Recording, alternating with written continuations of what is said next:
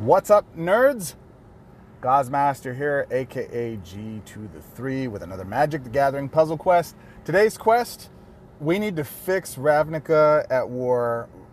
I friggin' hate this event. I loathe, I despise, cannot stand whatsoever the stupid frickin' event. Why do you ask? Because you can go damn near flawless in this event and you're going to wind up ranking really, really, really, really low. Because if you don't go flawless, you're not going to qualify for the deal. So let me first off show you how I basically win these events most of the time, um, but then also show you why it's such a waste of time. All right, so I set this up wrong. I have uh, Sarkhan in my top node. He should be in my bottom left node. I have uh, Tamiyo in my right node, and then I should have like Kiora or somebody on my top node uh, because of this build. I'm going to show you the build right now, all right? So for this build, one of the cards that you're going to be abusing to win if you've got it is Nullhide Ferox. Nullhide Ferox is broken. It's going to be broken until September. It's going to be broken forever. It's a great card for events, especially like this, because you can go and basically, I call it Nullhide Control. I use it to control the rest of the board, control their hand, especially if I have whatever primary color it is plus blue. So if I have green and blue, those are the two colors you want to have in order to pull off this deal. So who is Nullhide Ferox? If you're not familiar with him, he's 12 for an 8-8 untargetable. That alone is beast, but the way they penalize him, while this creature is in play, the cost of your spells and supports is increased by 10 whenever a player exiles a card from their hand. Until the beginning of the next turn, this creature loses hexproof, and the cost of your spells and supports is reduced by 10. So whenever a player exiles a card from their hand, that's how you basically make him targetable so you can kill the creature, right? Uh, however, it's that last little sentence the cost of your spells and supports is reduced by 10. When this card is discarded by an opposing effect, return it to your hand with full mana. That first, the, that last little sentence is the driving force. We discard cards from our hand, makes the cards in our hands cheaper, uh, supports cheaper. We cast them for zero basically, and the the grind to that is two things. You want to have some type of reswap. The, you know, it's a masterpiece. It's going out as well. Uh, Stitch in Time, spell card, gain one extra swap if there are 10 or more blue gems.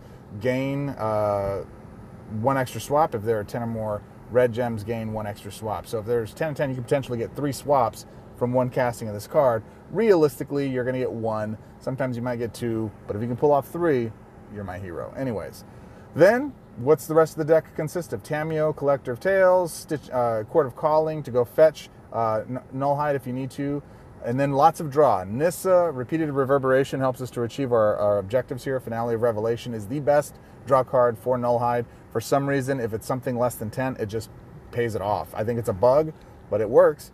Casualties of War for, for helping um, maintain their board presence, eliminates them, uh, and uh, non uh, land support. It goes after, I mean, it's just brilliant. This is the best removal card in this uh, deck outside of Ruinous Ultimatum, which isn't available for this event. Destroy the first opposing creature, destroy, uh, destroy an opposing artifact support, destroy an opposing enchantment support, destroy an opposing land support. Oh, it does go after land supports. Destroy an opposing vanguard support. If you got one of any of those, potentially you can get like five things off the board. It's awesome. There's only one support that avoids this one, which is the Hixus, which you'll just pop. With this, you have enough time control. You can just go pop it and set it up, and you can do it yourself, so it's not that big a deal. Uh, Days Undoing is the control for their hand, and then you want Narset, Parter of Veils. Why Narset? The fancy one, by the way. Whenever an opponent draws a card, that player can't draw cards until the end of turn.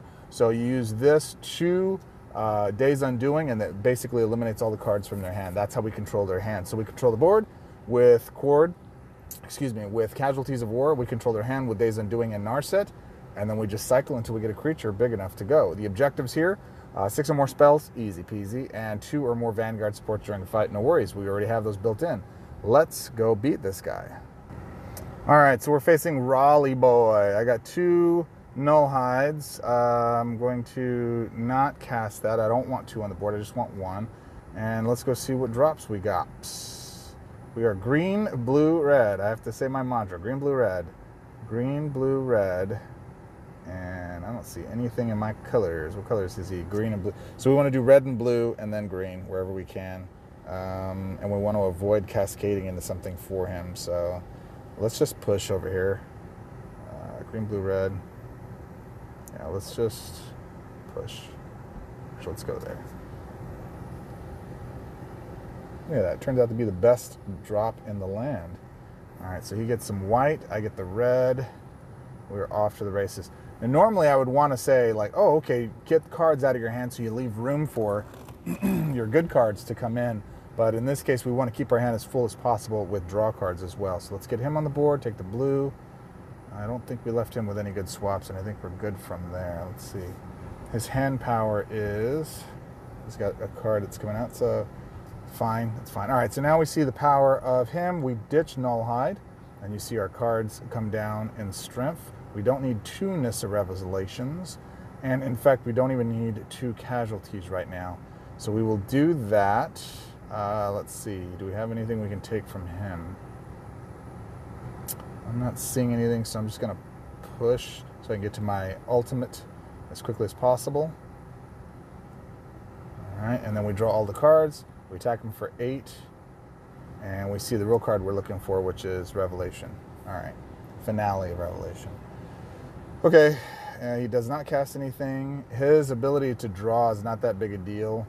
Uh, we do need Narset. We don't need Nissa's Revelation. Do we have a Tamiyo? We have a Tamiyo. We don't need two Tamiyos. And that should do that. So I'm going to mute this finale so I don't because I don't want it to cast. And I am going to. Is there any five drops? No. So we're going to go here. Hopes we get a red. Nope. But we did get all of that. We don't want to cast that yet. We're just going to go ahead and wait. The neat thing about this is that no matter what card I draw next, now that I have both of my um, now that I have both of my uh, uh, planeswalkers on the board, or uh, vanguards rather. So we don't want that, although I will show you that here in a second. I gotta get nine. I can use these to bring out other cards and fill my hand up. The thing with Finale of Revelation, I don't need to do anything to it outside of just getting rid of one card, and that's usually enough to get it done. Let's actually do that. Uh, 10's enough. Anything six or more really gives you a bonus to your blue uh, mana bonus. But I like to go 10 or 11 because it just makes things go like this. See, things just start casting for some reason. I don't know what they are. I don't know why. I don't know what's happening. It's beautiful though because it's a lot of synergy. That card works really, really well with Nullhide. Now I want you to pay attention to something while we're going through this match. I want you to pay attention to how many, look, I had seven more swaps. I want you to pay attention to how many draw cards I've hit during all of this, right? It seems like every time I'm drawing a set of cards, I'm getting draw cards, right? Kind of by design, if you know what I'm saying. You know what I'm saying? Uh, I really love playing this deck with um, Tamiyo because once you get her mana bonus, it, it just gets bonkers after that, man. It just goes insane. So we're going to go grab another Nullhide, get that on the board. We're not going to do that. We have seven swaps, so it don't matter.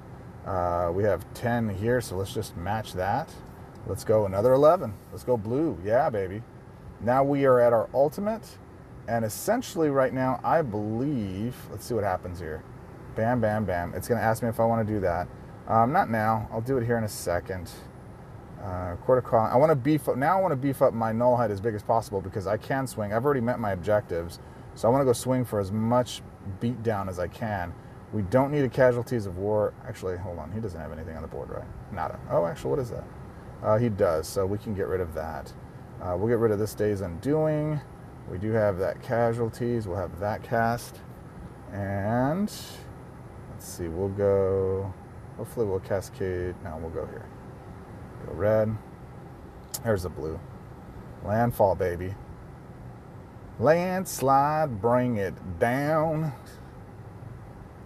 Let's go two Nullhides. Boom. And I got four extra swaps. That's fine. That's fine. Let's go here. Boop, boop. That should fill that up. And then we go for the roller coaster ride again. All right, there's another Tamiyo. And wash, rinse, repeat. We don't want to do that yet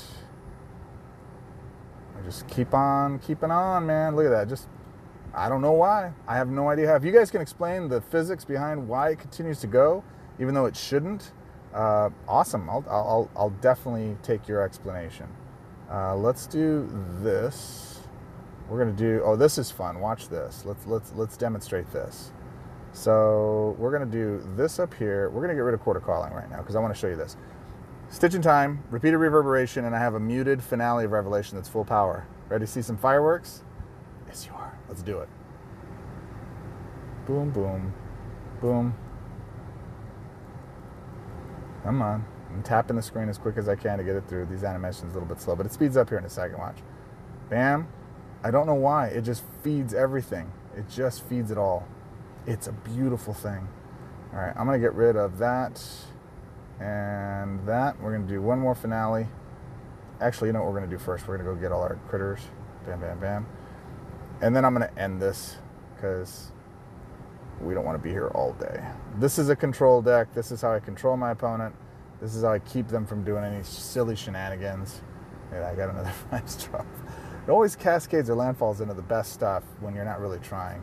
Now I can control his hand. He's not going to do anything, and I'll just beat him. He's not going to bounce me. He's not going to do anything ridiculous. Oh, look at all these repeated reverberations.